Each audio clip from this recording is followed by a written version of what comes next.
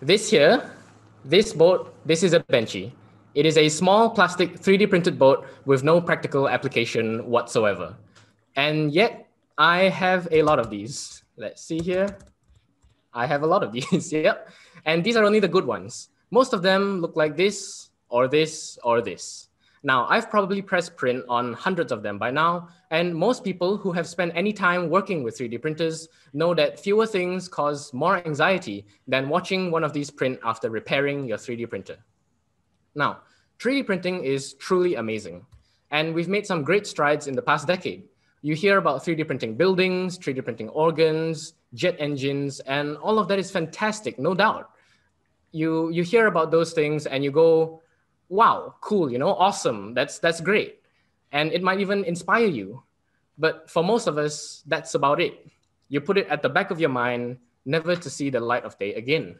But, that, but that's a disservice to the technology you always hear 3D printing is a disruptive technology. But in our lives, in your life, it's hardly disrupted anything. And I think that's a damn shame. 3D printing can be so much more and have a meaningful impact on your life and how you live it right now, as it has mine. So, I'm here today to talk about what 3D printing means to you, to us, to your everyday Joe who's not a PhD researcher or an industry professional someone like me, just a student who gets average grades, plays games, the like. A 3D printer shouldn't be seen as some high-tech cutting-edge machine, but instead as an everyday appliance or tool, much like a coffee maker or a laptop. Now, now, before we get ahead of ourselves, what is 3D printing? Well, it's exactly what it sounds like. It's a technology that allows you to print out an object in glorious 3D. Of course, that was a gross oversimplification, and there are many types of 3D printing, most of them too expensive for us to even play with. So when I'm talking about 3D printing, I'll be talking about fused deposition modeling, or FDM, the kind that squeezes out molten plastic on a flat surface and builds another layer on top of it over and over until you get a 3D object. Now, back to the benchies. As you might have guessed, it, the name Benchy comes from bench test, a benchmark. It is a test print, like those colorful lines that your regular printer might print. And it's also a sort of hello world program for all you programmers out there. I'll print one out whenever I get a new color of plastic, whenever I need to test my printer after I repair or tune it, and even to troubleshoot various printing issues. As you can tell, 3D printing right now is not as simple as pressing a big red button labeled print, but I'll get into more of that later. Now, you may ask, what's the use of a 3D printer? I'm not building robots or creating a small factory in my home. Seems pretty useless to me. Now, that's where you're wrong, and I want to help you see perhaps all the ways that it can impact your everyday life, speaking purely from experience. Now, who here shops online? That's a dumb question. Everyone shops online.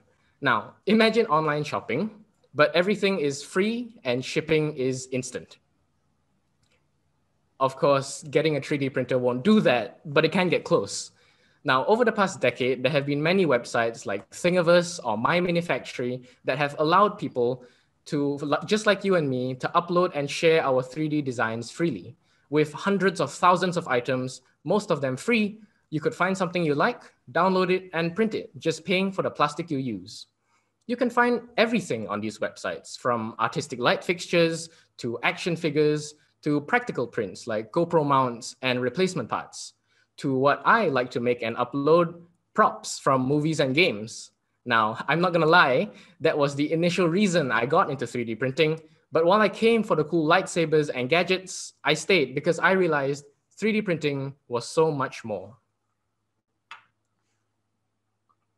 So, next, imagine this. You get home after a long day's work and Facebook decides to remind you that it's your friend's birthday. And oh no, it's the friend that actually got you something on your birthday. So what do you do? Well, for me, ever since I got into the hobby, it's never been a problem. Just find something on one of those aforementioned websites that you know your friend would like, or even better, design something personal. Press print and you'll have the gift ready within hours. One of my favorite things to give people is this little keychain. See the size here? There we go. At this point, it takes me under five minutes to design and I'll have the keychain ready in less than a day. Or perhaps you have a cherished photograph of you and your friend, print out this cool lithophane and the picture will reveal itself when you shine a light through it. Now, if you want to take full advantage of 3D printing, you will probably need to learn some computer aided design or CAD for short. Now, this may seem daunting at first, but it is easier than it's ever been to pick up one of these softwares and hit the ground running with softwares made for every experience level and application.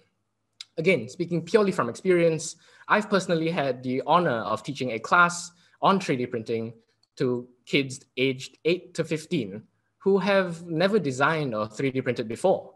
And to my surprise, within a week or two, they were at a level of expertise that I had taken months to get to myself, teaching myself online. Here are some of the things that I had them design. And mind you, I wasn't teaching them uh, some simple kid-friendly CAD software. I threw them in the deep end with the software that I personally use, a full industrial standard CAD software used in engineering firms all around the world. Now, it's always fun to print out cool toys and various trinkets or decorations, but where 3D printing truly shines is its more practical uses and being able to design even simple objects really opens up the things you can do with the technology. Now, there are more obvious applications. For example, hobbyists just like me have had the recent opportunity to help print things like face shields to aid hospitals in their pandemic response. But 3D printing also allows you to create custom, bespoke solutions to everyday problems. I had just gotten a new laptop stand, but it was poorly engineered and it was either too high or too low. Now, without a 3D printer, I would probably have begrudgingly gotten used to it or propped it up with a book, a less than elegant solution. But instead, I simply booted up my design software and within hours, I had this column that would raise the stand to the perfect height. Many small things like that really add up to visibly improve the quality of objects around us that we interact with on a daily basis. Now, when I first got the 3D printer, it almost became an inside joke within my family to point at something and say, I could print that. Lemon juicer, I could print that. Selfie stick, I could print that. You name it, I could print that. So I challenge you, even just for the next day, just to have that mindset, that thought of, hey, I could print that to solve everyday problems, problems you perhaps didn't know you had, or problems you've written off as unsolvable and forgot about like leaning your phone against the cup to watch videos or a missing cupboard handle, all things that could be easily and quickly solved with 3D printing.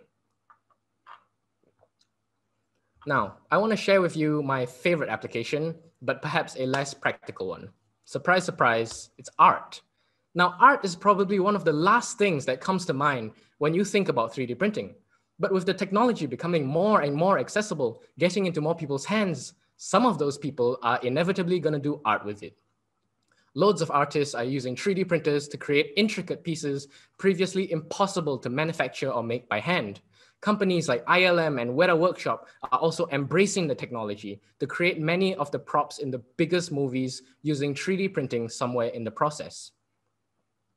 I think it is one of the most amazing things to have something in your imagination, an idea, to use some easily learnable tools to yank that thing out of your head and into the physical world and literally be able to put that idea into someone else's hands.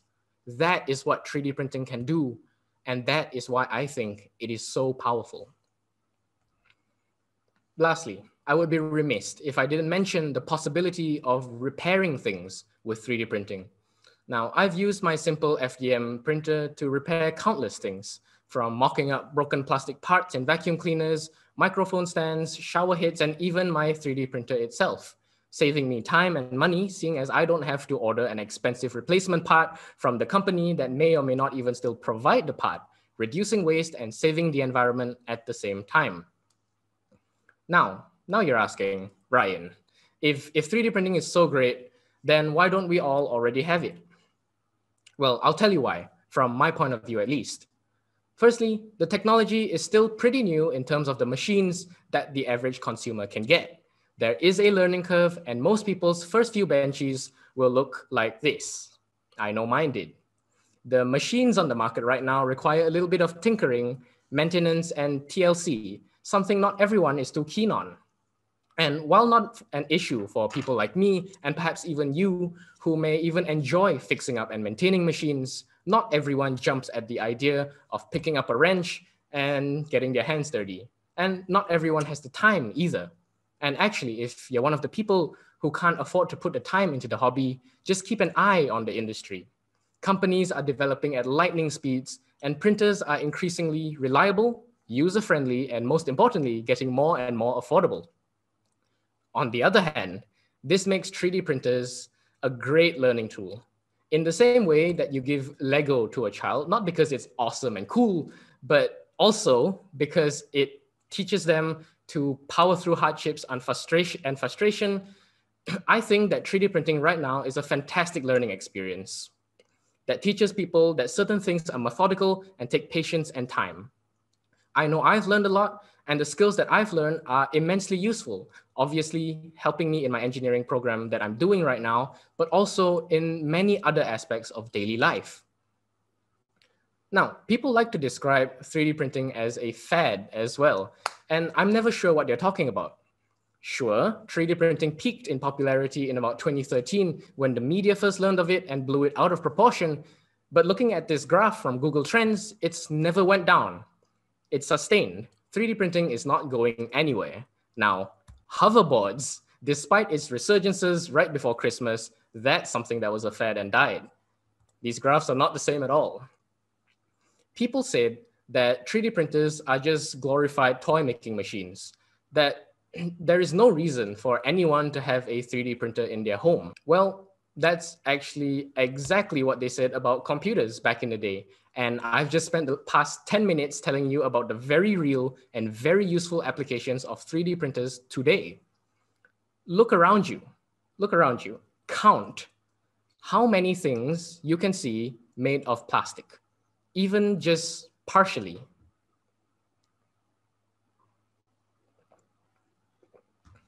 Each and every one of those could potentially one day be 3D printed in your very own home. I think we as consumers just don't know what 3D printing can do for us. Could you live without your phone? Could you live without your computer? Well, not so long ago, people did. A lot of you may remember a time when no one had computers or phones and didn't know what they could do. But we embraced the technology, let it touch every aspect of our lives, and now we are all the better for it, inseparable from our devices. And I fully believe if we as a society embraced 3D printing in the same way that we adopted the computer, that within my lifetime, I will see 3D printers as commonplace as a toaster. I also feel that there are many more uses for 3D printers than even I know in daily life. I think that a reason why it hasn't caught on is the current consumer mindset. The mindset of throwing an appliance away just to get a new one, even though it's not even that old or broken and probably easily repaired. But don't worry, it's not all our fault. The companies are in part to blame for this as well, making their products less and less repairable over the years, made to break products. Look up planned obsolescence if you'd like to know more. Now, this was not always the case.